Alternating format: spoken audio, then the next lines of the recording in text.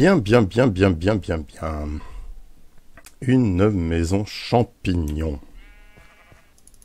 Eh bien, bonjour Minecraft. Je suis très content de vous retrouver. J'ai fait un petit peu de place derrière moi euh, pour cette fameuse maison champignon. Je vais repasser la première personne. Hop. Vous voyez, j'ai coupé des arbres. Il me reste quelques pousses qui spawnent. Il va faire nuit d'ailleurs, on va s'empresser.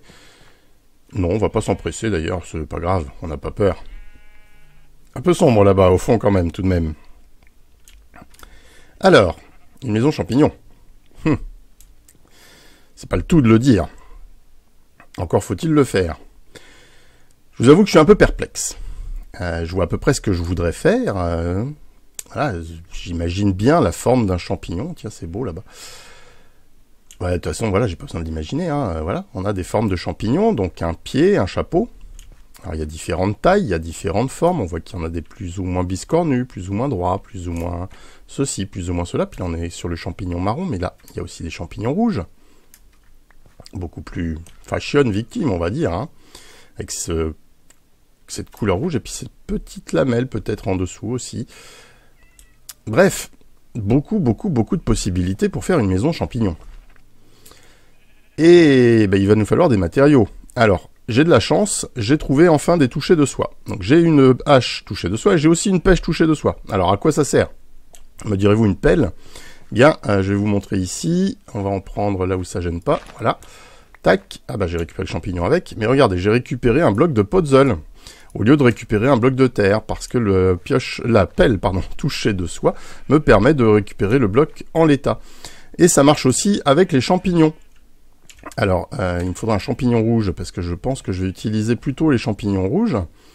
Hop, on va se récupérer un petit champignon, tout de suite, pour vous faire une petite démonstration de ce qui va m'occuper un petit moment avant de revenir vers vous, à savoir farmer les ressources nécessaires à cette maison. Parce que c'est pas j'arrive pas à faire ce que je veux, c'est pas possible ça quand même. Euh, faire des champignons, ah oui, je peux pas le mettre là, trop de lumière, voilà. J'ai un stock euh, de poudre d'os exprès, tiens, ah bah trop tard, je l'ai pas eu, la petite pousse d'arbre. Donc un champignon, si on l'aide un peu et on se fait projeter dans le sol du coup, voilà, ça c'est un champignon rouge. Et avec ma hache touchée de soie, c'est euh, vraiment pratique parce que du coup, au lieu de récupérer, alors si je casse un bloc comme ça, je récupère euh, au mieux un champignon ou rien du tout. Euh, donc là, par exemple, je vais pas forcément avoir besoin des rouges, mais je vais avoir besoin du pied surtout, moi. Donc je vais peut-être d'ailleurs faire pousser des, normaux pour récupérer que le pied, parce qu'il y a plus de pieds dans les, dans les bruns que dans les rouges. Donc euh, voilà, on va peut-être pas s'embêter. Mais pour vous montrer, je vais quand même récupérer, hop, tout ce champignon-là avec une hache touchée de soie. Vous voyez, c'est des blocs du coup que je ramasse. D'où l'intérêt de la toucher de soie. C'est ce qu'évoquait Sherlock la dernière fois quand il euh, m'a donné ses petites explications sur euh, les euh, champignons, qu'il allait me falloir une touchée de soie pour récupérer les matériaux. Alors oui, mais pas seulement, parce que j'ai réfléchi. Oui, si, si, ça m'arrive. Il n'y a pas que Sherlock qui réfléchit. hop. Si vous regardez le bloc de champignons. Tiens, on va en mettre un juste là pour personnaliser que c'est dans ce coin-là que les champignons vont, vont être mis. Voilà. Vous voyez, donc c'est rouge avec des petits points blancs. Et sauf que si je fais tout mon toit de champignons géants, parce que c'est ça mon idée, c'est de faire un champignon géant, euh, en comme ça, ça va faire plein de petits points. Je trouve pas ça forcément joli. Donc je pense qu'on va tricher un petit peu et le toit, on va le faire en laine rouge et laine blanche. Comme ça, on va mettre des gros points et euh, beaucoup de rouge pour faire un chapeau de champignons rouges, vraiment euh, fashion victime. Après, voilà, il, va y avoir besoin de beaucoup de matériaux. Donc il va me falloir beaucoup de euh, tiges de champignons euh, pour faire les murs, enfin la tige, de, cette, de ce champignon géant qui va devenir une maison à champignons, tout simplement. Oh, c'est beau là-haut. et bah, du coup, il va me falloir de la laine rouge et de la laine blanche. Sauf que... Oups, je vais pas le rouvrir parce que ils vont sortir. J'ai 4 moutons parce que j'en ai reproduit, mais euh, bah, du coup j'en ai 4 blancs. Donc il me faut absolument euh, du rouge. Et le rouge, on y reviendra sûrement à l'occasion d'un autre épisode, mais le rouge, il faut une fleur rouge. Euh, je pensais en avoir plein en fait, et je vois qu'il y en a très peu. Je vais être obligé de piquer dans mes parterres. C'est quoi ce délire? Non, il n'y a pas une seule petite fleur rouge qui traîne là? Alors vous savez comment obtenir des fleurs rouges facilement quand vous en avez plus? Bien quand vous trouvez qu'en plus c'est pas très très verdoyant, tout ça c'est un peu trop lisse, hein, et ben hop, un petit coup de poudre d'os sur l'herbe. Et voilà, on va récupérer, allez on va enlever celle-ci. Voilà. Et donc, ce qui est génial avec euh, la fleur, c'est qu'on, le coquelicot en l'occurrence, c'est qu'on va pouvoir faire une teinture rouge. Alors par contre, il m'en faut deux, je suis désolé, madame la deuxième fleur. Il va m'en falloir deux. Euh, hop, elle est où? Elle est là. Tac. Voilà. Tiens, pourquoi mon livre est fermé? Étonnant. Je suis pas mort pourtant. Alors, euh, voilà, donc j'ai mes deux colorants rouges et on va faire d'une pierre deux coups. C'est alors il y, a plein de façons d'utiliser les colorants. Vous pouvez vous dire, bah oui, t'as qu'à récolter toute ta laine blanche et puis après tu vas euh, tout simplement colorer tes stacks de laine. Oui, mais ça veut dire qu'il me faut un colorant tous les 8, tous les 8 blocs de laine, je crois, de mémoire. Sauf que là, il y a beaucoup plus simple. Ce que je vais faire, j'ai quatre moutons. Eh bien, on va en mettre un et deux rouges, voilà. Et oui, dans Minecraft, vous avez des moutons rouges. No problemo. Et puis avec du fer, hop, on va aller chercher un petit peu de fer. Vite, on ferme la porte avant qu'il se barre. Euh, j'ai pas de fer ici. Ah bah j'avais déjà des champignons, tiens, ici. Tat, j'ai pas de fer, j'ai pas de fer. Ok, bon, bah, on va aller dans notre ancienne salle de stockage. No problemo. On va aller se faire de quoi récolter la laine. Et puis bah après, euh, on va faire une petite ellipse, hein, parce que je pense que j'en ai pour un petit moment. Alors, est-ce que j'ai du fer Oui, là j'ai du fer. J'ai même déjà les cisailles. On va pas se casser la tête. Tiens, d'ailleurs, euh, c'est peut-être pas la malin de se promener sans armure. Et ça prend de la place dans mon inventaire en plus. Donc voilà, une fois que vous avez teint votre mouton, que vous êtes équipé d'une paire de cisailles, eh bien à vous le farm de laine, le farm de champignons aussi, enfin de tiges de champignons avec euh, votre euh, hache touchée de soie. Et là, hop, mince, j'ai raté mon mouton. Quick, merci, merci de me donner votre laine. Donc ça c'est pour pas tuer le mouton, hein, pour ceux qui l'ignorent, hein. vous regardez dans le guide pour bien débuter, il me semble l'avoir évoqué. Voilà, et ça manque un peu de lumière par ici quand même. On sait jamais. Voilà, bon bah plus qu'à attendre qu'il broute de l'herbe pour que la laine se refasse, et puis je vais me faire, euh, bah, je pense, 3-4 stacks de laine, histoire d'être euh, tranquille. Et je vais me faire un peu aussi la même chose en tige de champignons, et puis je reviens dès que c'est fini. Mais, il y a quand même un truc. Je crois que j'avais prévu de me passer de Sherlock, mais je crois que ça va pas être possible. Parce que euh, c'est compliqué de faire un champignon maintenant que j'y pense. Euh, voilà, moi je sais faire des toits, je sais faire des trucs droits. Mais un champignon, ça a une forme arrondie. D'ailleurs, ça a quelle forme un champignon? Ça peut avoir plusieurs formes. Ouais, je crois qu'on va quand même avoir besoin des, des lumières de Sherlock. Allez, on lui laisse la place. Oh, je comprends bien, le dire, que ce soit pas si simple que ça d'imaginer un champignon dans Minecraft. Après tout, Minecraft n'est qu'une histoire de cubes et faire un champignon géant pour en faire une maison à champignons, tu te lances à un sacré challenge.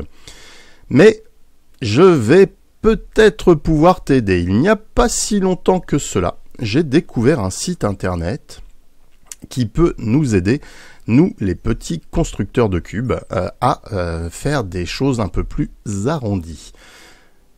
Des choses arrondies. Oui, si ça se dit.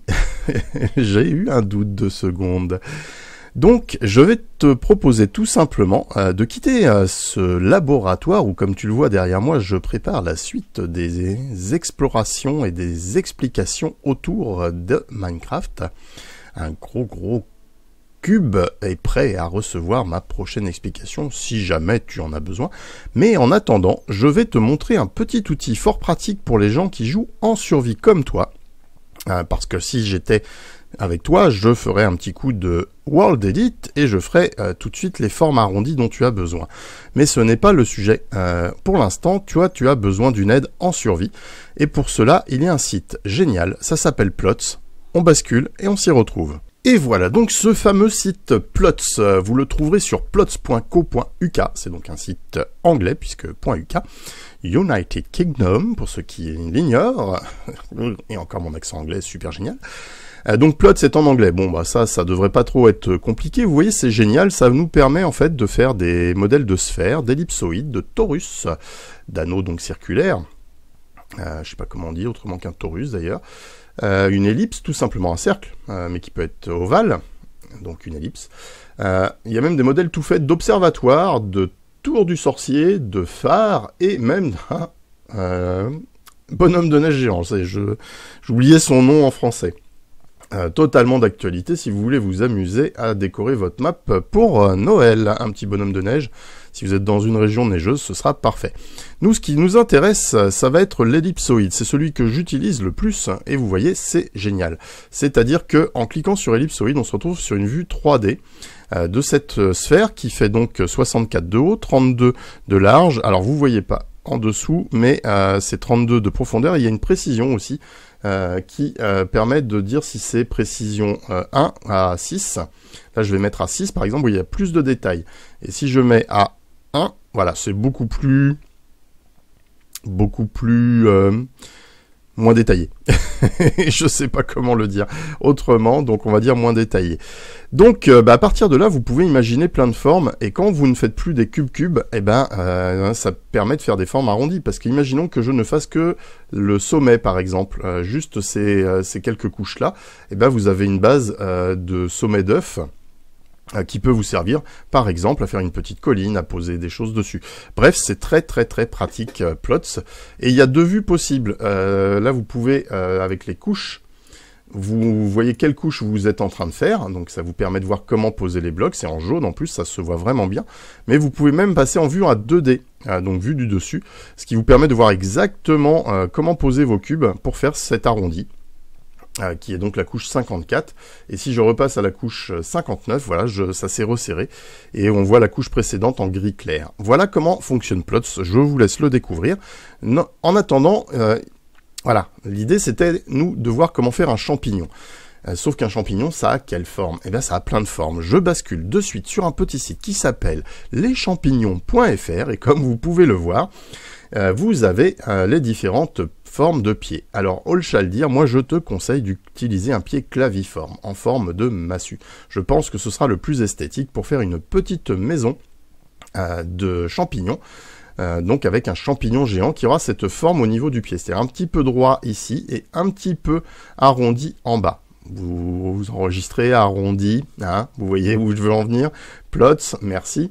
Alors, il y a aussi la forme du, chapeau, parce que là on est sur les formes de pieds. Je pense que la forme de chapeau qui convient le mieux aussi pour une maison, euh, ce sera l'hémisphérique. Là aussi, vous, voyez à peu près ce qu'on vient de voir dans Plots. Et d'ailleurs, on y retourne. Euh, voilà, hémisphérique, hein. vous avez à peu près un chapeau euh, qui fait cette forme-là. Par contre, c'est beaucoup trop grand. Donc moi, je pense qu'il faut un pied qui fasse à peu près, je pense, 13 de large et de long, puisque c'est un rond. Donc on va mettre 13-13. Et en hauteur, euh, bah, pas forcément très haut. Euh, je pense qu'il faut partir d'une forme arrondie, donc 13, 13, 13, 13. Je pense qu'en finesse, par contre, on pourrait peut-être gagner. Voyons ce que ça donne en 6. Voilà, je trouve que ça sera peut-être mieux. Et nous, ce qu'on va faire, c'est qu'on va ignorer la partie du bas. On va se contenter des, euh, je pense, 1, 2, 3, 1, 2, 3, 4 couches du haut. C'est-à-dire qu'on va descendre à... Il y a 13 couches. On va descendre à la couche 10. Voilà, on va poser celle-là en premier.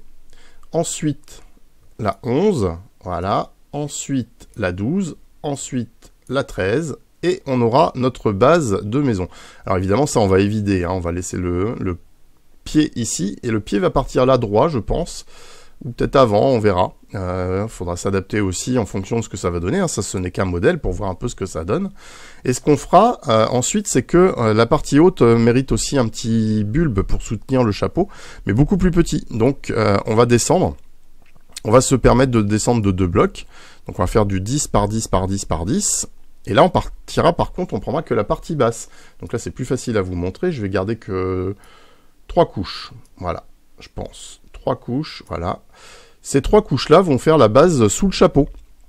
Et donc, on voit que le chapeau doit faire au moins 1, 2, 3, 4, 5, 6, 7. Donc, euh, je pense qu'il doit faire le double du pied, à peu près.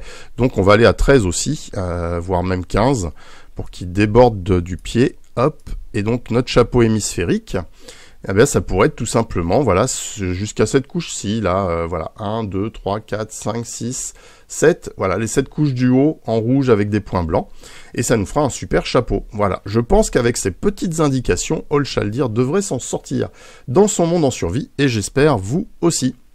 Voilà, on retourne du coup voir où il en est, et si ça lui a servi.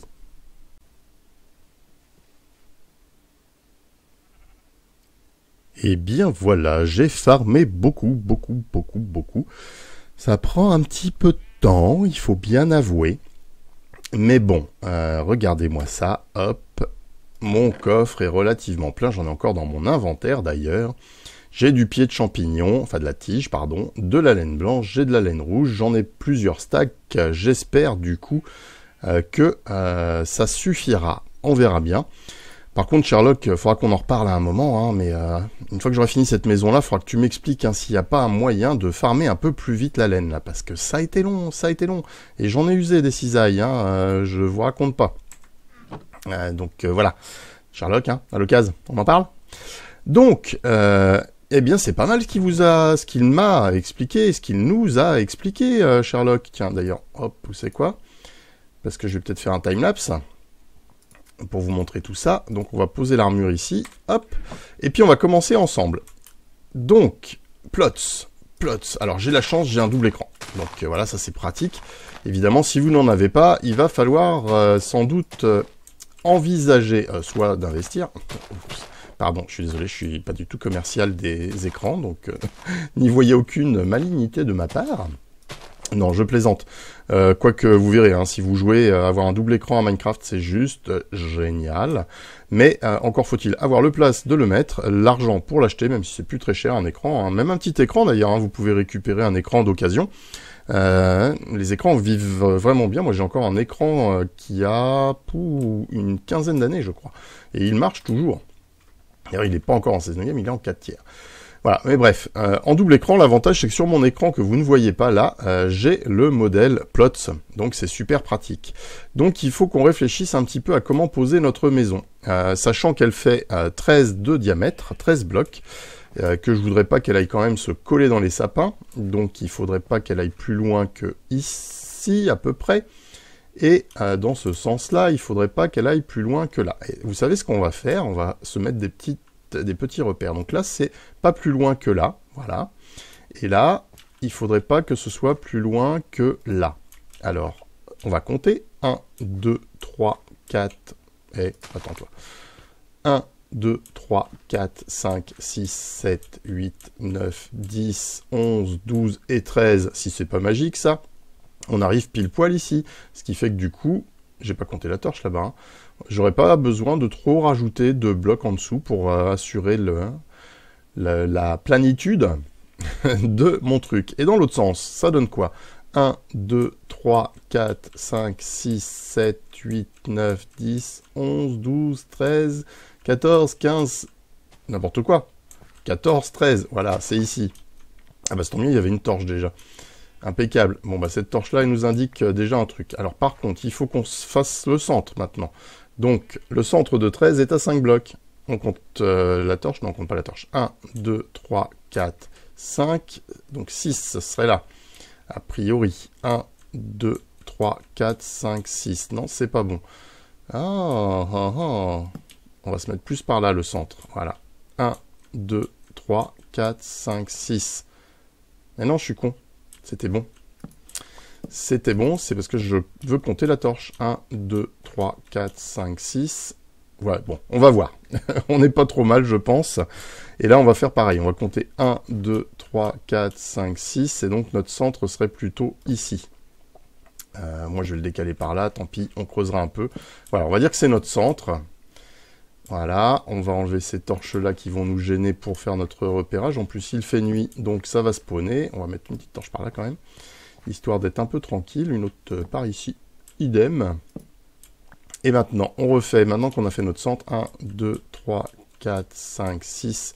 Ouais, ça va pas être bon. Il va falloir mettre un, quelques blocs de soutien quand même. 1, 2, 3, 4, 5, 6. Hop, voilà, pas plus loin que là. 1, 2, 3, 4, 5, 6. Et pas plus loin que là. Je crois que j'ai des... Ah non, ça devrait aller. Euh, hop, 1, 2, 3, 4, 5, 6. Eh, pas mal, voilà. Vous savez, vous avez vu, je sais compter jusqu'à 6, c'est pas mal. À vous de jouer maintenant. Comptez jusqu'à 6.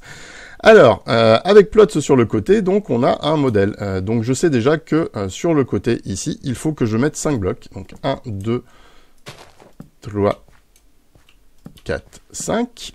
Pour faire l'angle, on va faire un truc comme ça. Et là, on va repartir de 5. 1, 2, 3, 4, 5. Et là, on refait un angle. Alors du coup, vous voyez, c'est bien ce que je pensais. Il y aura besoin d'un peu de soutien.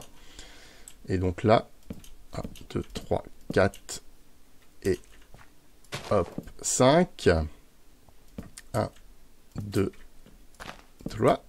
Et 1, 2, 3, 4, 5. Et, voilà, des zombies arrivent, ça c'était sûr. Youp. Va-t'en. Va-t'en. Mais veux-tu bien mourir? Il a une armure enchantée en plus, là il veut pas mourir le monsieur. Ah puis il me tape, mais arrête de me taper, oui. Non mais... Ah mais il était sacrément résistant lui. Punaise. Euh, bon, alors il va me falloir quelques cailloux ici pour... Euh, oh là, bon, on va faire passer la nuit parce que... Je vois du mini-zombie maintenant qui arrive derrière moi. Hop, voilà, reste dehors. Tac, ils vont flamber. Ah, évidemment, monstre à proximité, du coup je ne peux pas dormir. Bon, en gros, de toute façon, vous avez compris le principe. Euh, hop, il est où? Voilà, il est là. Eh mais c'est que je n'ai plus d'armure. J'ai laissé mon armure sur le côté. Voilà, j'ai failli me faire tuer bêtement. Oups. Il me fatigue ce petit zombie là. Est-ce que je peux l'avoir à travers les... Allez, viens. Tiens. Ah, ça passe pas. Oh, zut de crotte. Poussez-vous les moutons. Non, tu vas pas dans la maison. Non, tu vas pas dans la maison. Bon, je règle ce petit problème et je reviens. Bon, et voilà, et quelques zombies plus tard... Qu'est-ce que c'est pénible, ces bestioles, hein, on peut plus travailler tranquille. Euh, d'ailleurs, je voulais aller chercher, euh, j'ai oublié. Au passage, hop, hop, hop, quelques cailloux. Euh, j'ai plus d'échafaudage. Ah si, ils sont là. Ok, impeccable. On va continuer donc gentiment le pied de notre champignon. Donc une forme arrondie d'abord, une petite tige droite, une forme arrondie ensuite et un gros chapeau par-dessus. Voilà, j'ai tout compris Sherlock, n'est-ce pas? Hop, allez, on va se mettre un petit peu de fondation euh, derrière. Derrière sous cette structure en champignon, voilà, juste comme ça, hein, pour dire que ça soutient quand même.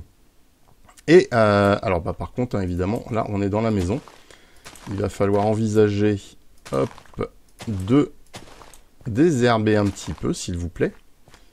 Voilà, voilà. Donc on va laisser notre torche qui n'est pas du tout au centre au final. J'ai complètement merdoumé hein, sur la façon de compter. Mais c'est pas grave, on y arrive tout de même. Alors comme c'est un cercle à l'envers, moi j'utilise beaucoup euh, hop, les euh, échafaudages dans ces cas-là pour faire la, le support du rang suivant, puisqu'on va se resserrer au fur et à mesure. Donc dans Plots, vous ne voyez pas, mais je monte d'une couche.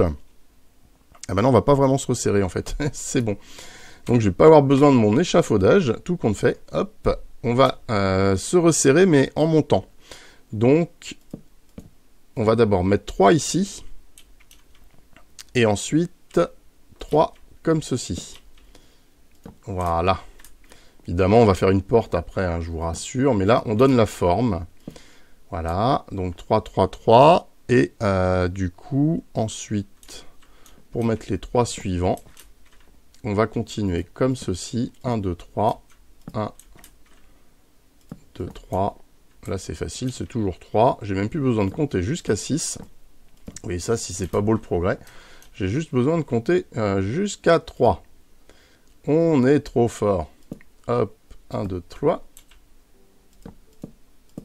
Et on va bientôt avoir fait notre deuxième rang. Tic. Tac. Gentiment, mais sûrement, on va y arriver. Et voilà, on a notre deuxième euh, rang d'une forme hémisphérix. Hémisphérix, comme dans Astérix. Non, mais c'est les Schtroumpfs là, c'est les Schtroumpfs, dire. Que dis-tu, ce n'est pas Astérix. Ce serait les Schtroumpfs éventuellement. Effectivement. Euh, alors, euh, du coup, par contre, le rang suivant va peut-être avoir besoin de mon astuce de l'échafaudage. Donc, Sauf que bah, mon astuce de l'échafaudage, pour le coup, elle est plus compliquée à mettre en œuvre. Hop Puisque ça demande de monter d'un cran. on va s'en mettre un tout de suite là. Et on va se remettre du champi, du champi. Alors, cette fois-ci, on va resserrer un petit peu de un bloc. Donc on va mettre un bloc comme ceci. Ensuite, on va suivre notre modèle plots. c'est bien ce qui me semblait. 1, 2, voilà. Hop, 1, 2, voilà. Et donc là, on va refaire un petit angle. Euh, tic, tac. Voilà, je vais y arriver. Donc là, 1, 2, 3, 4, 5. Je vais faire ça d'abord, ce sera fait. Hop, ça va relativement vite. Hein. Euh, là, je vous explique en même temps, mais comme vous le voyez, quand on a un modèle, c'est quand même plutôt facile de faire notre forme sphérique. Merci, plots. Et on n'oublie pas la petite pointe ici. Tic-tac, boum. Voilà, et il me semble qu'avant d'attaquer le pied, on est presque bon. Il faut juste... Alors là, il faudrait... Il faudrait... Oh tiens, j'ai oublié un ici. Voilà. Il faudrait juste boucher là pour que notre pied fasse 3. On va partir à 3 de haut pour notre pied. Par contre, bah, évidemment, là, les échafaudages, ils ne me servent plus. Ce sera peut-être un peu étroit euh, à l'intérieur. Il faudra peut-être envisager de creuser, en fait, pour faire notre maison à champignons un peu plus euh, bas. Mais j'avais pas envie de faire un pied euh, trop globuleux. J'aurais pu partir un peu plus bas, hein, un peu plus... Encore un cran, si vous voulez, en dessous. Ceci, je pourrais le refaire après, on peut toujours creuser. Histoire que ça, ce soit le début du toit. Oui, c'est envisageable. C'est tout à fait envisageable, c'est peut-être même ce qu'on va faire, tout simplement. Euh, on va prendre toucher de soie pour récupérer le puzzle. Et on va se faire une base de maison un cran en dessous. Voilà, ce qui va... Bah, je vais être obligé de récupérer les pierres que j'avais mis. Euh, tac, tac, tac, c'est pas grave. Mais on va se faire une maison un petit peu à moitié enterrée. Ce qui est plutôt logique pour des champignons. Puis comme ça, je récupère du puzzle. En voulez-vous? En voilà. Hop, hop, hop. On va se faire ça comme ça. Et puis évidemment, je ne vais pas vous imposer euh, toute la construction euh, étape par étape de cette maison champignon. Je vais revenir vers vous dès que j'aurai bien avancé. En attendant, je vais vous mettre un petit timelapse, je pense, de l'avancée, enfin de la construction. Je tourne, j'enregistre avec replay mode en ce moment, donc ça devrait le faire. pourquoi je ramasse pas Si ça y est, des petits lags. Voilà, donc je vous dis à tout de suite dès que j'ai bien avancé.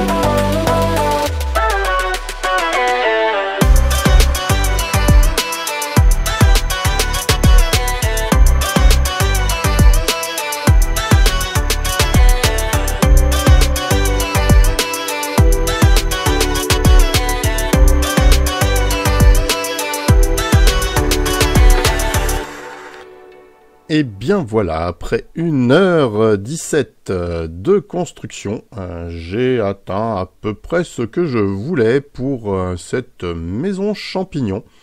Alors si je devais la refaire, je reverrais certainement des petits détails plus effilés au niveau du pied. Là, ça fait gros bolet, mais c'est pas grave. le but était quand même de donner une forme de champignon. Je trouve que c'est réussi. voilà, le chapeau pourrait être aussi un petit peu plus, je sais pas, il y a deux trois détails qui me chiffonnent. Je suis passé en mode spectateur pour que vous ayez une belle vue euh, après ce petit time-lapse euh, de construction.